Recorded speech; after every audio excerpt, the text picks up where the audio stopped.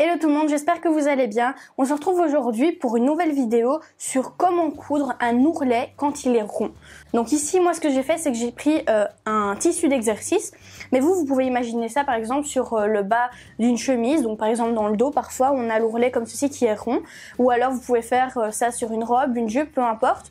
Donc moi ici, ce que je vais faire, donc imaginez qu'on est par exemple sur le dos d'une chemise et qu'on doit faire l'ourlet double donc qui se trouve dans le bas de la chemise. J'ai coupé ici un ourlet, enfin du moins un morceau de tissu avec le bord qui doit être fait. Et donc je vais vous montrer ma petite technique pour faire vraiment un ourlet tip top et euh, que vous n'ayez pas euh, de plis et que vous ayez du mal vraiment à plier votre ourlet. Donc je ne suis pas plus long, on passe directement à la pratique.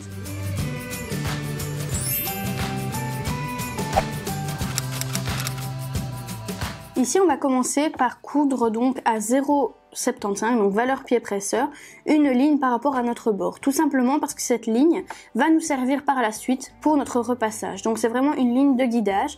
Pas besoin de faire deux points d'arrêt ni au début ni à la fin.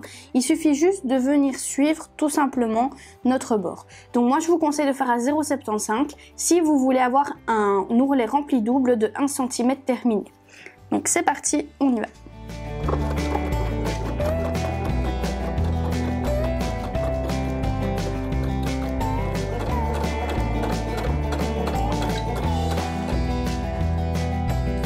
Une fois que c'est fini, on va pouvoir passer au fer à repasser.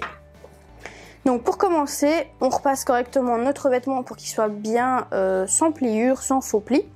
Et ensuite, une fois que c'est fait, et qu'il fait pas trop chaud chez vous, parce que je vous avoue qu'ici, on meurt de chaud, en Belgique c'est tellement rare, mais ça arrive, avec le fer on a bien chaud. On va venir maintenant donc replier sur notre ligne, tout simplement, comme ceci, et on repasse.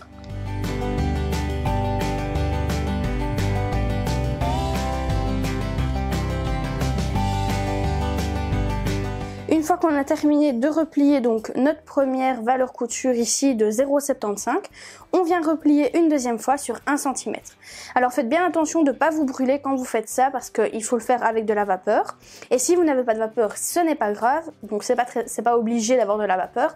Mais si vous en avez, faites attention de ne pas vous brûler parce que moi j'ai failli me brûler, donc faites bien attention. Donc je vais replier ici sur 1 cm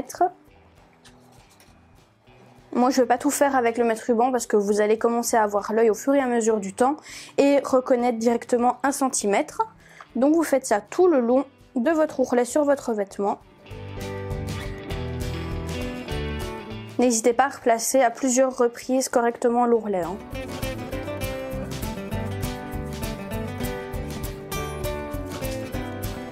Une fois qu'on a terminé, on va pouvoir passer à la machine et venir piquer notre ourlet on se positionne correctement donc avec l'endroit face à vous et l'envers donc sur votre machine. Donc moi ici comme j'ai voulu faire euh, un, un, ourlet d'un centimètre, je me suis positionnée donc à valeur pied presseur pour coudre mon ourlet. On n'oublie pas le point d'arrêt au début et à la fin et on fait bien attention de suivre la courbe. Donc moi ce que je vous conseille c'est vraiment d'y aller lentement pour vraiment avoir une finition super bien faite. Ça ne sert à rien de se précipiter, après vous allez devoir découdre, recoudre, avoir des points d'arrêt par-ci par-là. Donc vraiment bien le faire correctement. Autre petit conseil, si vous êtes sur un vêtement, commencez au sous-bras, donc directement dans une couture, là où ça ne se verra pas. Donc ne commencez pas en plein milieu du milieu dos ou alors tout simplement euh, en plein milieu du milieu devant. Et on y va.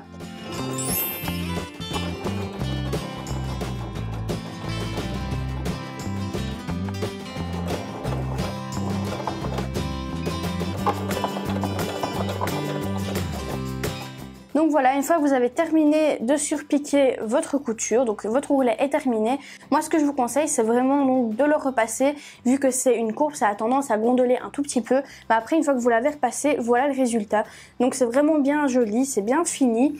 Le tout, le, vraiment le secret, je vais dire, euh, quand on coud une courbe, c'est d'y aller doucement. Ça sert à rien de se précipiter, de vouloir aller vite et finir pour au final devoir tout découdre et à chaque fois recommencer.